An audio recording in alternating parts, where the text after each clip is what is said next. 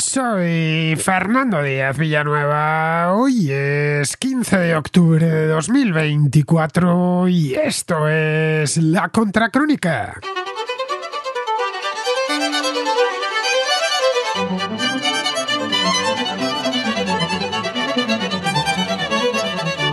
Faltan ya solo tres semanas para las elecciones estadounidenses.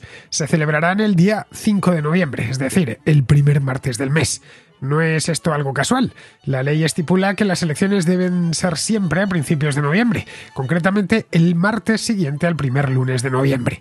En tanto que este año el primer lunes caerá en 4, las elecciones serán el día 5. Esto implica que la recta final de la campaña coincide siempre con el mes de octubre. Durante las últimas cuatro semanas de campaña los candidatos echan el resto. Viajan por todo el país, estrechan manos, dan discursos, conceden entrevistas y gastan hasta el último dólar que han recaudado para convencer a los indecisos, y esto es importante, para asegurarse de que los que ya han decidido su voto lo depositen finalmente en la urna durante la jornada electoral. Es, por lo tanto, un mes de actividad frenética que pone al límite a los equipos de campaña y coloca a las empresas demoscópicas en el centro de la acción. Las elecciones presidenciales en Estados Unidos no las gana necesariamente quien ha conseguido más votos en las urnas, sino quien obtiene un mayor número de grandes electores que se reúnen tras las elecciones en el denominado colegio electoral. Cada estado tiene un número diferente de grandes electores en función de su población. El estado que cuenta con un número más elevado de grandes electores es California, con 54, seguido por Texas con 40, Florida con 30 y Nueva York con 28 pero esos estados suelen tener desde hace ya años una inclinación política previsible. California y Nueva York acostumbran a decantarse por los demócratas, mientras que Texas y Florida lo hacen por los republicanos. La cuestión es hacerse, por lo tanto, con estados de mediano tamaño que rondan entre 15 y 20 grandes electores y que cambian sus preferencias en función del año y del candidato. A esto se los conoce como swing states o estados péndulo o key states o estados clave. En las elecciones de este año, los estados péndulo tienen una importancia capital, ya que según las encuestas será en ellos donde Donald Trump y Kamala Harris eh, se jueguen la Casa Blanca. En estos momentos se encuentran en un empate técnico. En voto popular, Harris está ligeramente por encima, pero en el colegio electoral le separan unos tres o cuatro votos. Esto ha convertido este mes de octubre en una febril carrera en la que los dos candidatos buscan desesperadamente el desempate.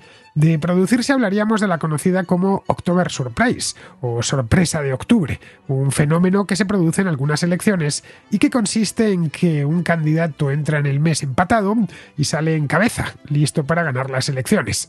Para que se produzca una October Surprise o sorpresa de octubre, algo inesperado, muy inesperado tiene que ocurrir. Un acontecimiento importante que mueva grandes cantidades de voto en una dirección o en otra. A eso mismo es a lo que se han encomendado Harris y Trump este año. Pero ya ha transcurrido la mitad del mes y no hay sorpresa que valga. Ambos están siendo extremadamente cuidadosos para evitar cometer errores fatales un metro antes de la línea de meta. La sorpresa, eso sí, puede venir de fuera, pero el panorama internacional ya estaba convulso antes de las elecciones y lo seguirá estando después. Solo les queda esperar al día 5 y rezar para que se deshaga el empate de la forma más holgada posible.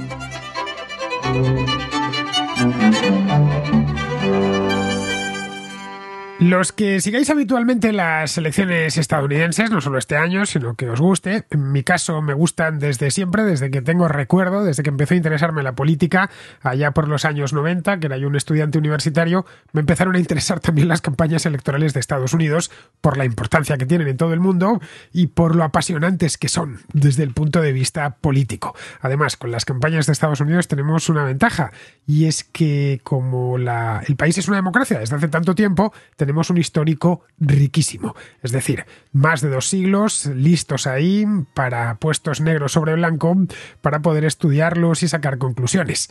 Esto de la sorpresa de octubre es un clásico en todas las elecciones. No en todas se presenta, de hecho es poco habitual, esa es la verdad, tienen que llegar muy empatados para que se produzca una sorpresa de octubre. E incluso muchas sorpresas de octubre que se han dado en el pasado luego no sorprendieron a nadie y no cambiaron ni un ápice, nada, ni un voto el resultado final. Es decir, que las sorpresas de octubre son tan antiguas casi casi como el país, como las elecciones.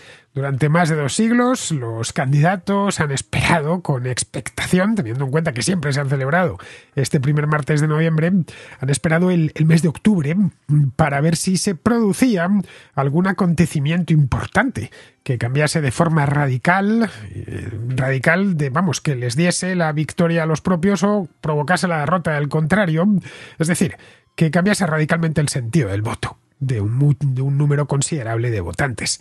Por regla general, ya digo, no suele haber sorpresas de octubre. Tiene, la palabra se utiliza mucho más de lo que luego realmente ocurre. Pero todos, eh, incluso en las elecciones en las que uno de los candidatos va muy por delante y no hay sorpresa que valga, todos esperan que ocurra algo para recuperar terreno en el caso del que está por detrás o para afianzar su victoria en el caso del que va por delante. Podríamos pensar que este octubre, el que nos atañe, el octubre de 2024 de esta campaña, ya están sucediendo cosas importantes que están afectando en mayor o menor medida las elecciones. A ver, en el mundo siempre ocurren cosas, en Estados Unidos también. Es decir, cualquier cosa no es una sorpresa de octubre. Eh, esto ya mm, es algo que es obvio. Al final las elecciones estadounidenses son muy largas, eh, no es como en otros países donde la campaña electoral es dos, tres, cuatro semanas como mucho. Aquí esto empezó con las primarias allá por el mes de enero en aquel caucus de Iowa que vimos aquí en la contracrónica en su momento. Es decir, que llevamos diez meses de elecciones y han pasado infinidad de cosas en estos diez meses. Aunque sí es verdad que en, la recta final ya es cuando todo se acelera. Este, este último mes, además, por lo menos los últimos 15 días, han sucedido algunas cosillas de cierta relevancia. La guerra en Oriente Medio, por ejemplo, se ha intensificado. Israel ya se ha enzarzado en combates directos en el Líbano, con Irán. La guerra, por lo demás, continúa en Gaza. Pero hablar de eso como sorpresas, no sé yo hasta qué punto. La guerra en Gaza y los problemas en Oriente Medio empezaron hace un año. Estados Unidos, además, no está involucrado de forma directa con soldados sobre el terreno ni nada por el estilo. Es cierto, apoya a Israel, pero no ha querido meterse más en el asunto. Mm, y no ha querido meterse más en el asunto porque Biden no ha querido y en el caso de que estuviese Trump tampoco hubiese querido. Estados Unidos desde hace muchos años, Oriente Medio, trata de tenerlo vigilado, pero a la distancia, desde, desde cierta distancia prudencial y después del descalabro que tuvieron en Irak, procuran eh, meterse lo menos posible allí, al menos con efectivos propios. Luego, respecto a lo de Irán, es cierto que el día 1 de octubre, nada más empezar el mes, hubo un ataque de Irán a Israel, pero hubo otro el día 13 de abril, así que tampoco, es decir, no en el último mes antes de las elecciones. Vamos, yo al menos no veo que haya sorpresa posible aquí. El apoyo a Israel es eh, algo en lo que coinciden tanto demócratas como republicanos. Pero que en estas elecciones no haya sorpresas de octubre a la vista. A fin de cuentas se trata de una sorpresa. Es decir, puedo estar yo haciendo este programa o estar vosotros escuchándolo y que se esté produciendo la sorpresa en este, en este momento. Cuando hablamos de sorpresa hablamos de sorpresa, de algo que no es previsible. De cualquier manera, hasta ahora no ha habido ninguna. Esto no significa obviamente que no se puedan producir. Las sorpresas de octubre no son muy habituales, como os he dicho antes, pero al menos apelar a ellas sí que es algo tradicional en las campañas estadounidenses. Si nos vamos a la historia, esto que os comentaba anteriormente, de una de las cosas buenas de la democracia estadounidense es que tenemos un archivo bastante largo operando mm, con el mismo sistema, porque archivo electoral podemos encontrarlo en otros países, como puede ser la propia España. En España hay elecciones desde el siglo XIX, pero equiparar las elecciones actuales con las que había, por ejemplo, en tiempos de Isabel II o de la Restauración, ya con Alfonso XII y Alfonso XIII, eh, cuesta. No es exactamente lo mismo, han cambiado los partidos, no eh, se puede forzar la comparación, pero no es sencillo. Cosa que con la democracia estadounidense es mucho más fácil. Las reglas han cambiado, sí, han ha habido enmiendas constitucionales, ha habido cambios en la legislación, pero han sido mínimas. De hecho, las elecciones siempre se han celebrado en noviembre. Por lo tanto, bueno, del principio, principio no, pero en los últimos dos siglos se han celebrado en noviembre. Por lo tanto, esto de la sorpresa de octubre mm, podemos rastrearlo hasta muy antiguo. De hecho, la primera sorpresa de octubre documentada tiene casi 200 años a sus espaldas. Se produjo en las elecciones de 1840, cuando un fiscal acusó de fraude electoral al partido Whig. El partido Whig es el predecesor del Partido Republicano. El Partido Republicano todavía no había nacido. Pero no sirvió de nada esa supuesta sorpresa de octubre, esa acusación, porque el candidato Whig, que era William Harrison, terminó ganando al demócrata, que era Martin Van Buren. 40 años más tarde, en 1880, tenemos otra posible sorpresa de octubre. Un periódico neoyorquino llamado Truth, que creo que ya no existe, aunque la red social de Donald Trump se llama así, Truth, es decir, verdad, pues en Truth apareció un, un texto que, decía ser una carta del republicano James Garfield a alguien llamado H.L. Morey, en la que Garfield mm, trataba de menos el problema chino. El problema chino hoy ni nos viene ni nos va, pero en esa época en Estados Unidos tenía mucha importancia, una polémica que encendía las pasiones y que decía algo así como que los trabajadores chinos de la costa oeste, los que habían llegado, entre otras cosas, a construir el ferrocarril, estaban quitando puestos de trabajo a los nativos. Como veis, esto de la inmigración en Estados Unidos tiene una trayectoria muy larga, muchísima tradición. Los empresarios, según aparecía en esta carta, que era una carta falsa, deberían poder contratar mano de obra y a donde puedan conseguirla más barata. Si era en China, en China, y si era en Estados Unidos, pues en Estados Unidos. Bien, la carta era una falsificación y su publicación en prensa, en prensa se difundió muchísimo, tuvo mucha circulación. En aquel entonces, 1880 todavía no existía la televisión, tampoco la radio, internet, claro, les hubiera parecido magia, y todo se movía a través de la prensa. La alfabetización, eso sí, ya en 1880 en Estados Unidos era alta, por lo que había muchísimos lectores de periódico. Bien, esta carta era falsa y perjudicó a Garfield, concretamente en el estado de California, que es donde había más inmigrantes chinos. Allí la hostilidad de los trabajadores locales hacia los chinos era, era fuerte. Pero Garfield, aun con todas, ganó las elecciones. Eso sí, los demócratas ganaron en California. Todo lo que consiguió esa carta falsa publicada en Truth, eh, curioso, un periódico llamado Truth, ¿verdad?, que estuviese publicando una carta, un bulo, que diríamos hoy, una carta que era mentira. Luego hubo que esperar ya mucho tiempo, ya hasta bien entrado el siglo XX, bueno, hasta los años 60 del siglo pasado, para que apareciese una nueva sorpresa octubre. Y estas sorpresas de octubre están mejor documentadas y además estamos en otra época, años 60. La prensa, por supuesto, tiene mucha importancia, lo tiene la radio, que había aparecido 50 o 60 años antes, lo tiene la, la televisión, que era mucho más reciente, pero que para mediados de los años 60 ya era un medio de comunicación fundamental, de hecho el más importante dentro de los Estados Unidos. El 7 de octubre de 1964, uno de los principales asesores de Lyndon Johnson, un tipo llamado Walter Jenkins, fue arrestado y acusado de, esto es textual, conducta desordenada. ¿Mm? Conducta desordenada, podemos pensar que es lo que estaría haciendo. Bien, algunos os lo podréis imaginar. Conducta desordenada concretamente con un hombre en una YMCA de Washington, D.C por conducta desordenada, como es lógico, hay que entender que tuvieron relaciones sexuales, homosexuales, exactamente. En aquel entonces, año 1964, este tipo de cosas todavía movían eh, al escándalo y hacían que una campaña electoral se pudiese ir al garete. No olvidemos, no ha pasado tanto, apenas, bueno, sí, justo 60 años desde entonces, pero han cambiado afortunadamente mucho las cosas en este aspecto. Cuando los periodistas preguntaron al candidato republicano, que era Barry Wallwater, sobre este incidente, sobre lo que se había publicado y el hecho mismo de que hubiesen arrestado a Jenkins, respondió off the record que los demócratas, además de comunistas, eran cocksuckers cuya traducción me ahorro porque es una ordinariez. Pero bueno, creo que todos lo habéis entendido sin ningún problema. Johnson lo que hizo fue apartar a Jenkins, pero aquello no le hizo perder las elecciones en absoluto.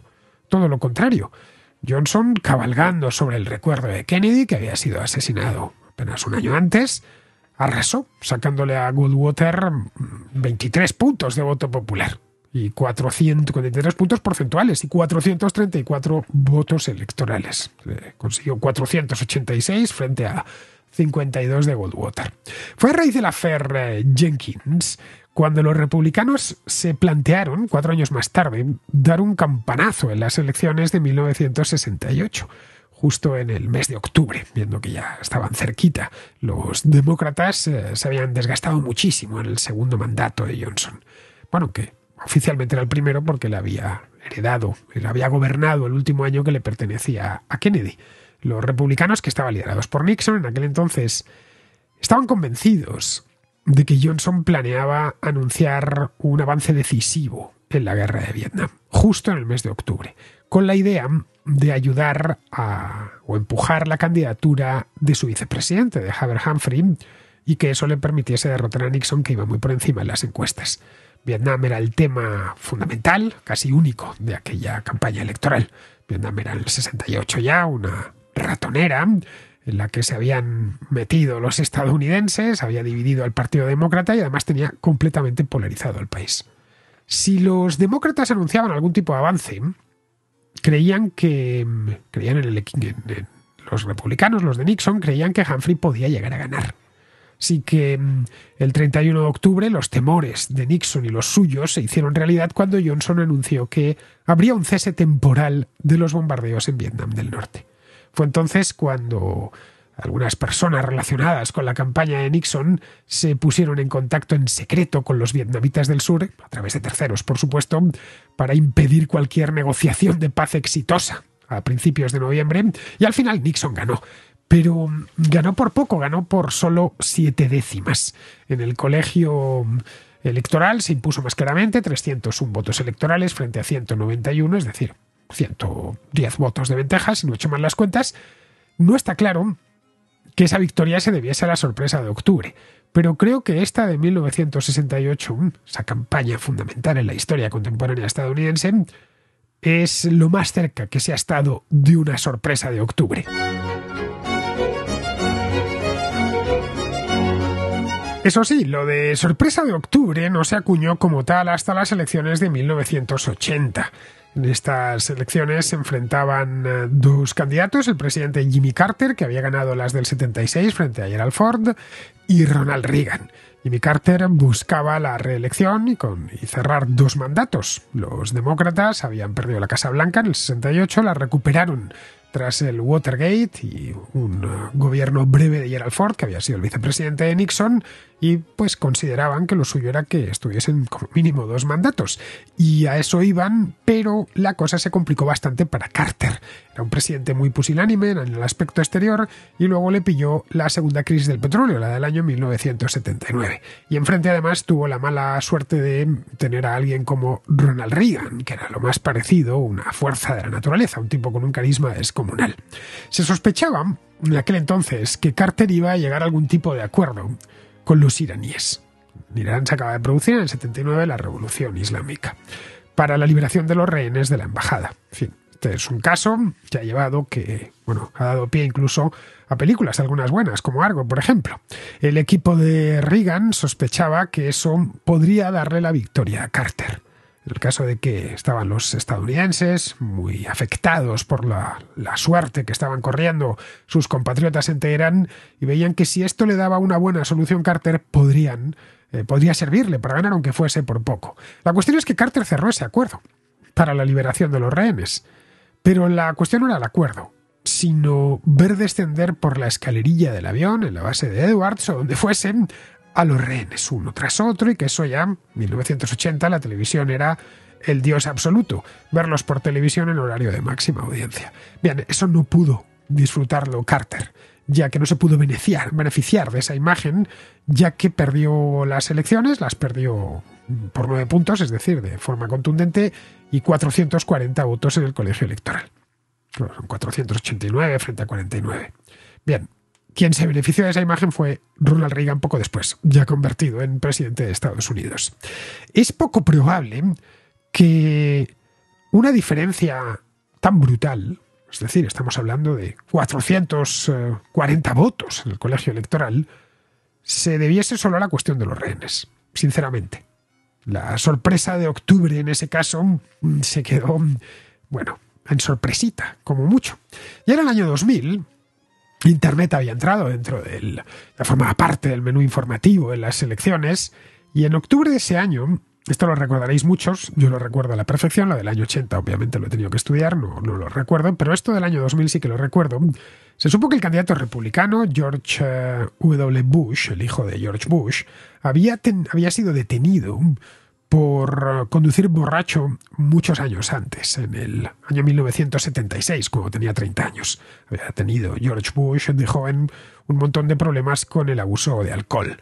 Terminó ganando las elecciones Bush, pero terminó ganándolas por muy poco, concretamente por cinco votos electorales. Los que tengáis memoria lo recordaréis aquel recuento infinito que se produjo en el estado de Florida el voto popular, es decir, el voto en las urnas, lo perdió, sacó medio millón de votos menos que Al Gore, pero ganó el voto electoral. Y eso es lo que le permitió ser presidente durante ese primer mandato hasta 2004 y luego ya el siguiente mandato de 2004 a 2008, ese lo ganó sin problemas contra John Kerry a las elecciones de 2004.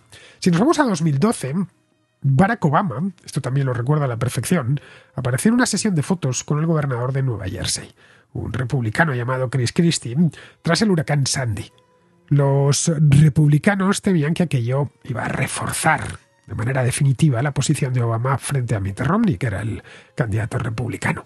Pero de nuevo estamos en las mismas. Esa foto realmente no hizo gran cosa. Lo que daban las encuestas fue más o menos lo que sucedió. Romney perdió por cuatro puntos y más de 100 votos electorales. Si nos vamos ya a 2016, más cerca todavía, hace solo ocho años, Recordaremos que aquella campaña, o sea, fue la primera campaña de Estados Unidos que seguí yo aquí desde la contracrónica, fue una campaña cara de perro. De un lado Donald Trump y del otro Hillary Clinton. Iban bastante igualados, aunque Clinton tenía una ligera ventaja. Pues bien, cuando solo quedaban 10 días para las elecciones, el director del FBI, James Comey, en aquel entonces envió un mensaje al Congreso en el que revelaba que el FBI estaba reabriendo la investigación sobre los correos, el servidor de correo electrónico de Hillary Clinton, basándose en una serie de materiales que acababan de descubrir. Aquella, recordaremos, fue una campaña muy tremendamente sucia, con un mes de octubre muy movido, tanto para Hillary Clinton como para Donald Trump. Las elecciones, como bien sabemos, las terminó ganando Donald Trump, Gracias al voto electoral, consiguió 304 votos frente a 227 de Hillary Clinton. Pero en el voto popular, como había sucedido entre Al Gore y Bush, ganó Clinton sin demasiados problemas. Obtuvo 66 millones de votos, el 48,2%, frente a los casi 63 millones de votos de Trump y que se corresponden con el 46,1%. No sabemos hasta qué punto Aquellas revelaciones durante el mes de octubre influyeron en el ánimo del votante, en el voto en definitiva. Seguramente, esto ya es una opinión mía, seguramente no demasiado. En resumen, que es habitual que muchos se planteen si esto de las sorpresas de octubre tiene verdadera importancia sobre el resultado final. Yo soy el primero que me lo planteo y creo, sinceramente, que tiene que ser una sorpresa completamente anormal, es decir, una declaración de guerra, poco más. Tiene que ser algo realmente gordo o un error fatal que cometa uno de los candidatos. He dado un pequeño repaso por la historia electoral de Estados Unidos, porque cuando uno sabe historia y estudia lo que ha pasado antes, cuesta mucho menos entender lo que pasa ahora. Se contaba algunas de las sorpresas de octubre o sorpresitas de octubre pasadas.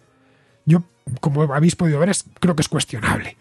Que influyesen, salvando quizá la de 1968, que cualquiera de las otras influyesen en las elecciones. Eso sí, este año hay una salvedad. Los candidatos están realmente empatados. De hecho, la distancia entre ambos es, menos que pequeña, es minúscula. Estas elecciones tienen además una naturaleza un tanto peculiar. Tenemos un candidato, que es Kamala Harris, que entró en liza hace muy poco tiempo, hace solo tres meses.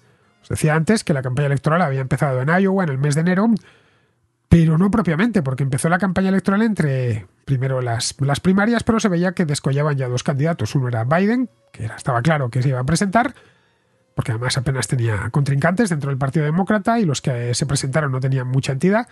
Y luego, por otro lado, Trump, que es cierto que tuvo que pelearse bien además en las primarias, pero al final las ganó con con una contundencia tremenda, vamos, que ya desde enero se sabía que podían ser y los encuestadores siempre preguntaban Trump o Biden, Biden o Trump.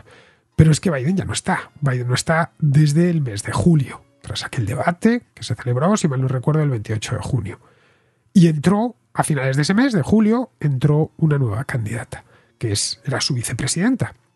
Ya había sido elegida como compañera de fórmula, pero había participado muy poco en, las, en la campaña electoral.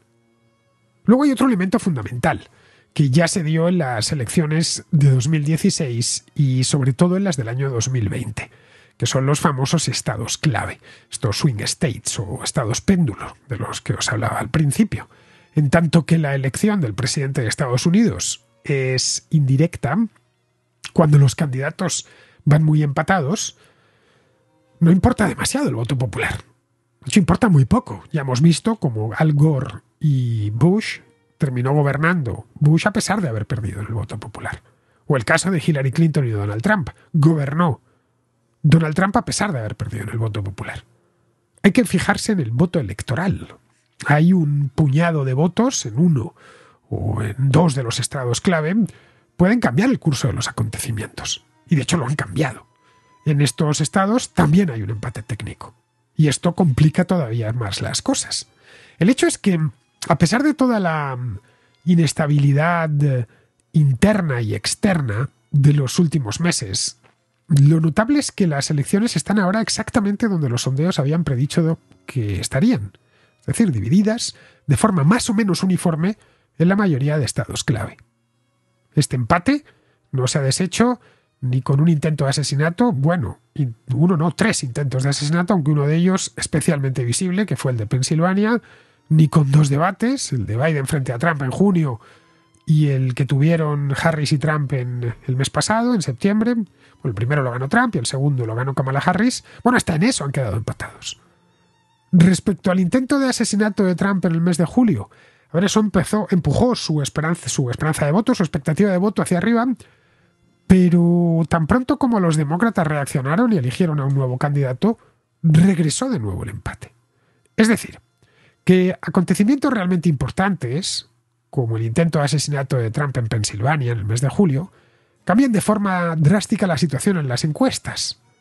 Pero ya veremos, pero no durante mucho tiempo, ya veremos cómo se queda la cosa en, en, el mes de noviembre, el día 5. Algo parecido a lo que sucedió en 2020 con la pandemia, que en aquel momento estaba muy presente y que decían que iba a tener una influencia directa, pero que no incidió de forma decisiva luego los resultados electorales. Al final aquellas elecciones las decidieron unos cuantos votos de esos estados clave.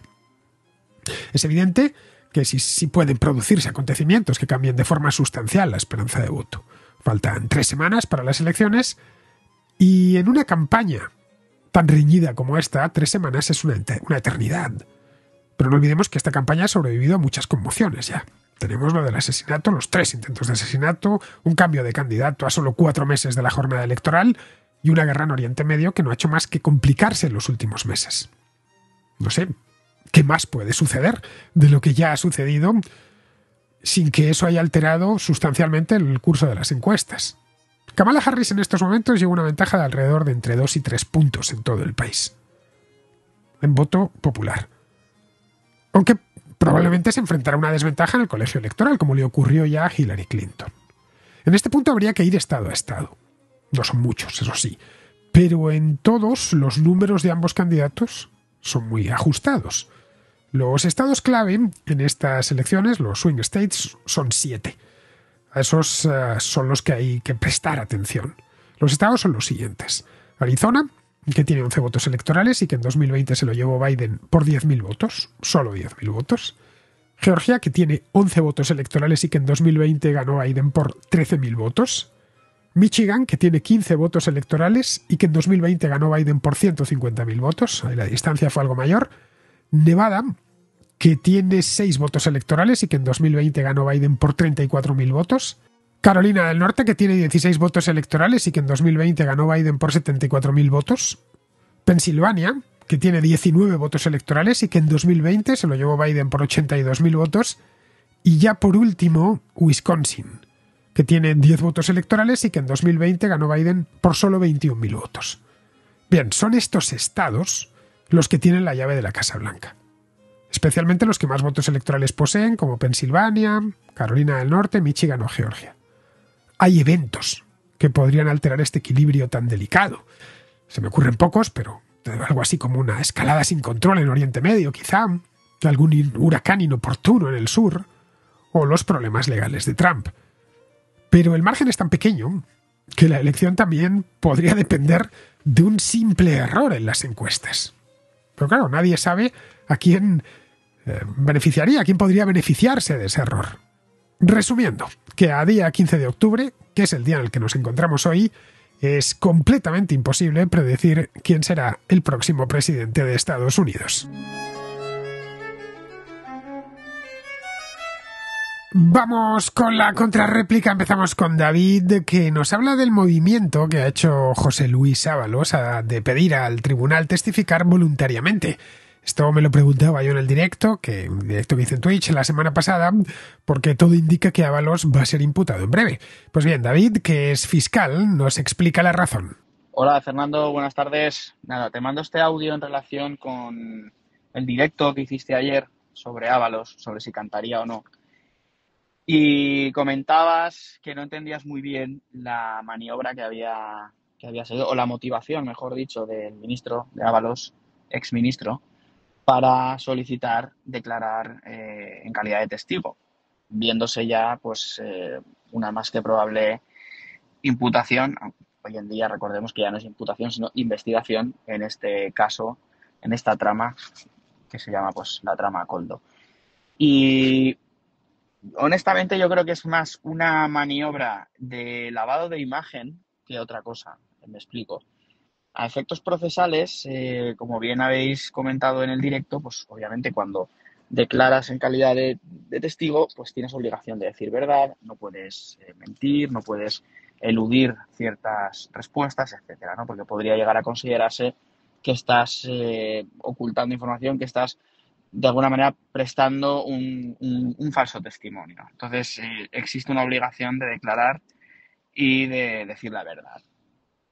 Eh, tampoco hay una maniobra defensiva en el sentido de decir, bueno, si declaro como testigo, pues ya me evito que me, que me investiguen y demás. No es así. Es decir, uno puede pasar de la condición de testigo a la condición de investigado siempre y cuando lo solicite el Ministerio Fiscal o las acusaciones eh, debidamente personadas en el procedimiento. Bien, que es muy probable que esto suceda así. Entonces, yo lo que creo es que aquí hay una maniobra más bien de lavado de imagen, decir, oiga, yo no tengo nada que ocultar, yo voluntariamente eh, me presté a declarar como testigo y luego me han investigado, pues bueno, pues eh, veremos a ver, ¿no? Y esto entiendo que reforzaría este discurso del loafer, de la mafia con togas y todas estas expresiones que estamos ya desgraciadamente acostumbrados a oír en contra de mis compañeros de la carrera judicial, la carrera fiscal, etcétera. Eh, en este sentido, yo creo que sabiéndose ya mm, que va a ser investigado en, breve, pues prefiere adelantarse y luego decir pues que incluso yendo a declarar como testigo de manera voluntaria, se encuentra con que lo siguen investigando y quieren ir a por él, etcétera, etcétera.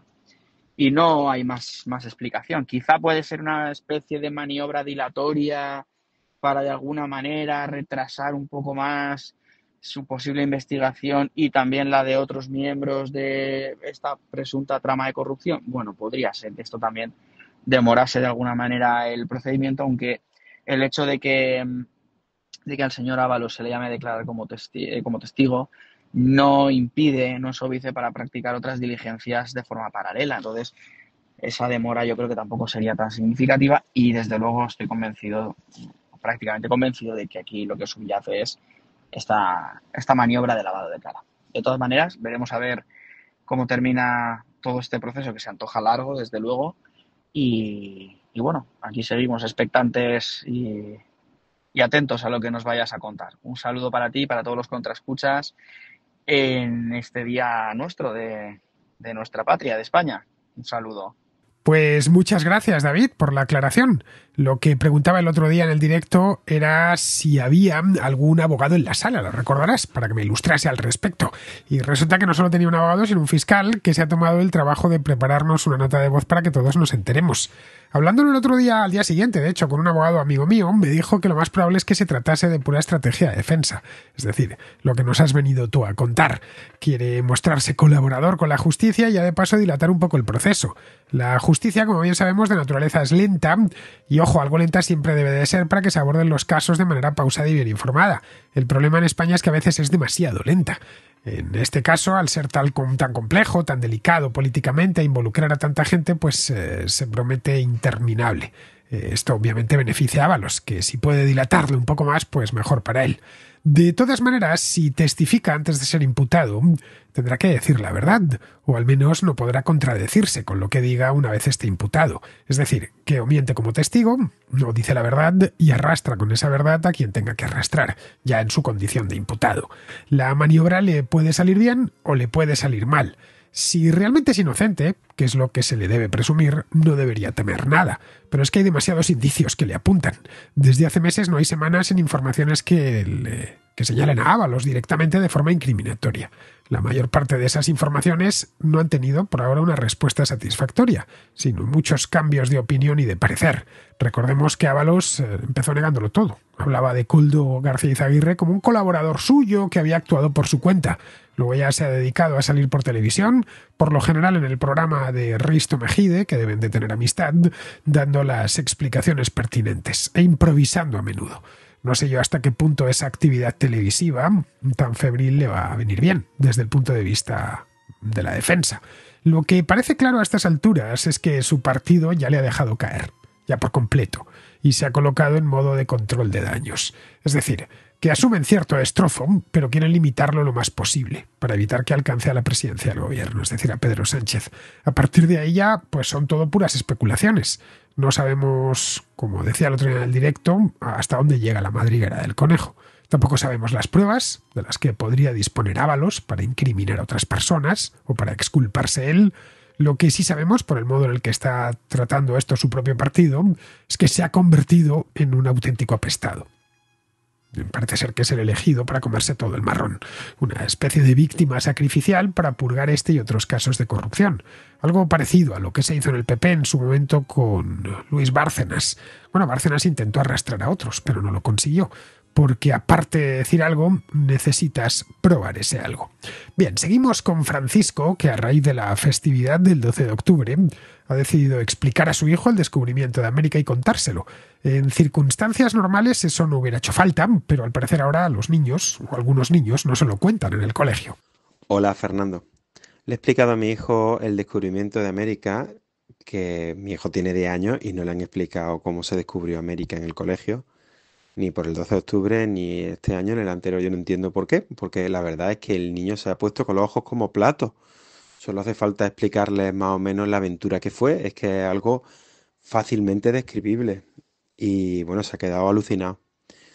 Pero bueno, contándole todo esto y lo aventurado que era irse a este océano desconocido para encontrar una ruta para las especies y todo lo demás, pues me he dado cuenta de que quería compararlo con otras situaciones en las que pasara lo mismo, para que viera que era muy, muy arriesgado. Es decir, que le pidieran eh, ayuda a unos reyes para hacer sus nuevas travesías y que les prometieran y que nunca volvieran.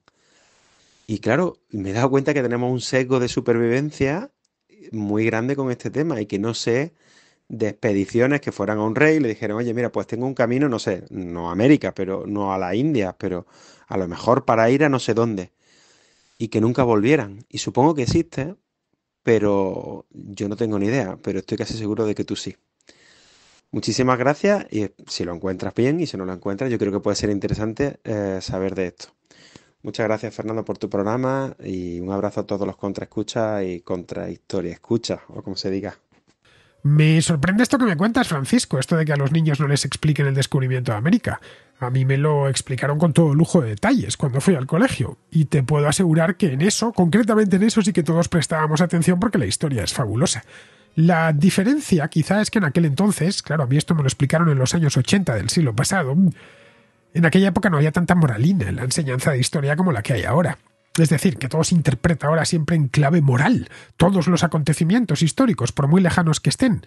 Bueno, hace no mucho, en un libro escolar, la parte que, en la que contaba la construcción de las pirámides de Egipto, pues una parte importante de esa explicación era cómo las habían levantado esclavos y lo mal que vivían esos esclavos. Bien, eso no es compatible con los, las evidencias arqueológicas.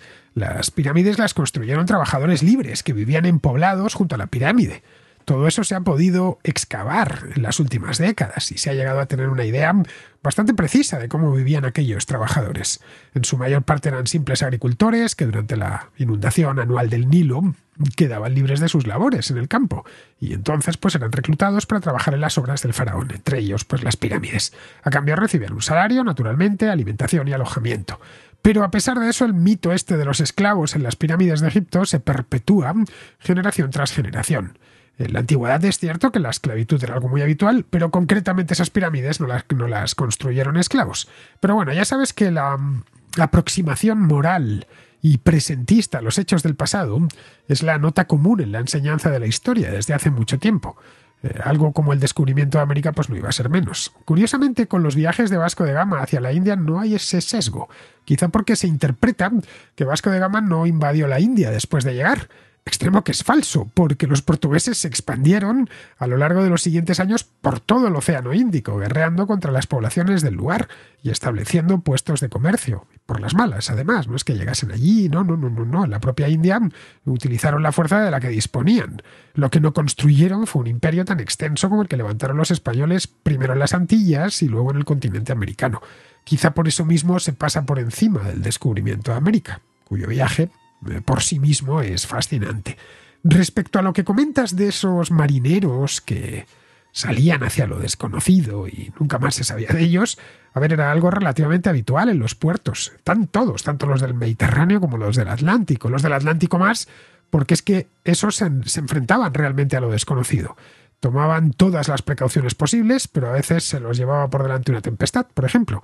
De cualquier modo, lo habitual en tiempos históricos era que cuando un barco abandonaba un puerto, sabían todos los que estaban a bordo que había una posibilidad, dependiendo del mar en el que estuviese y de la situación política del momento, una posibilidad mayor o menor de que nunca regresasen de ese viaje.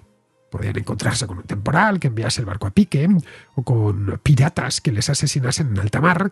Bueno, esta fue en última instancia la razón por la que se inventaron los seguros. Los primeros seguros de la historia iban dirigidos a asegurar los navíos y sus cargas.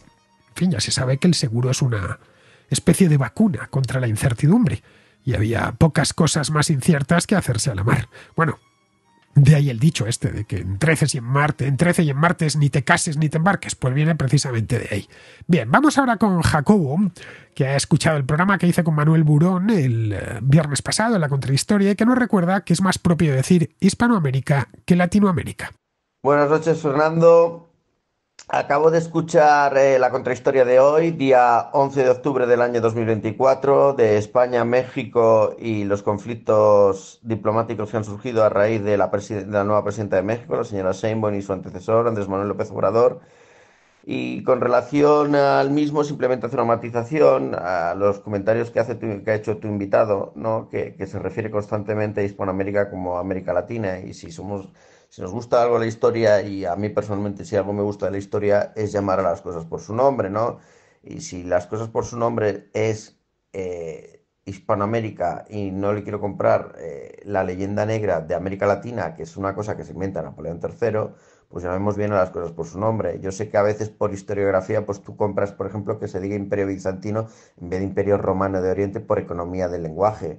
Pero entre decir Hispanoamérica y América Latina, pues hasta Hispanoamérica es más rápido, ¿no? Y a raíz de esto se me han ocurrido dos cosas. Bueno, una, recomendar la película de Hispanoamérica, Canto de Vida y Esperanza, saber tu opinión, por cierto, estaría bien. Y hacer contrahistorias, o si para hacer una contrahistoria es demasiado larga, que podrías hacer sobre los virreinatos, con las colaboraciones, pues por ejemplo, se me viene la cabeza de Rafael Aita en Perú, que eh, recientemente ha hecho un libro muy interesante que le he leído, que son Los Incas del Virreinato, o en México, Juan Manuel Zunzunegui, que tiene varias publicaciones. Yo solamente le he leído la de Cortés, pero sé que tiene varias y le he escuchado mucho por YouTube, ¿no? Estaría bastante bien. Y yo les he escuchado mucho al respecto, por ejemplo, al tema de hoy, ¿no? y luego ya también otras contrahistorias relacionadas también con la época del virreinal, ¿no? Pues me viene, pues incluso, no te he escuchado todavía ninguna contrahistoria de, de la primera vuelta al mundo o, del tornaviaje de Fray de Andrés de Urdaneta y me viene a la cabeza pues eso, que al principio tenías unas...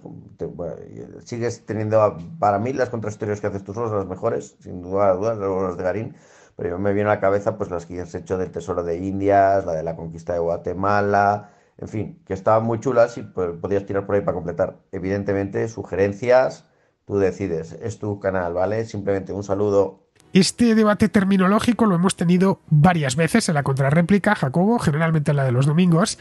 A ver, yo soy más partidario de decir Hispanoamérica porque me parece más preciso, al menos cuando me refiero a los países de habla hispana, que no son necesariamente los de habla española o castellana, mm, sino aquellos países de América cuya lengua principal, a veces la única, proviene de la península ibérica, es decir, de la antigua Hispania, que compartían lo que hoy es España y lo que hoy es Portugal. Y Hispanoamérica, por lo tanto, pues lo formaría prácticamente toda Centroamérica, con la excepción de Belice, toda Sudamérica, con la excepción de Surinam y las Guayanas, y algunos países del Caribe, como Cuba, la República Dominicana o Puerto Rico. Lo de Latinoamérica ya lo he explicado en alguna ocasión, que no es muy preciso, porque si tomamos Latinoamérica, en aquellos países como donde se habla una lengua procedente del latín, pues tendríamos los países en los que se habla español, los que se habla portugués y los que se habla francés. Y habría por lo tanto que sumar Haití, correcto. Pero también la provincia canadiense de Quebec. Y a nadie se le ocurriría incluir Quebec dentro de Latinoamérica. Esa es la razón por la que yo evito utilizar ese término, aunque algunas veces sí que lo empleo. No muy habitualmente, eso es cierto. Pero bueno, el término está ahí y lo entendemos todos. Bien, pues vamos a ir terminando. Vamos con Pizarro, mm, que nos habla del hombre que siempre estuvo allí. Es decir, de Víctor de Aldama. Víctor tiene dinero, no tiene un currículo o una trayectoria profesional que lo justifique, y sí una actividad de mediador que lo explica todo si se tratase de primero tentar a codiciosos y inmorales con dinero o poder, con fortunas, y después sujetarlos con su silencio. Víctor, el Vivales, fue encontrando corruptibles a su paso, y en el gobierno más de los que se pueden manejar. Cuando se disipe la humareda de esta vorágine de perversiones y coimas, veremos quiénes quedan libres y de entre ellos quiénes impolutos. Un cordial saludo de Pizarro. Y hasta aquí, queridos amigos, llega la contracrónica de hoy, 15 de octubre, mañana 16 y estará de vuelta. Hasta mañana.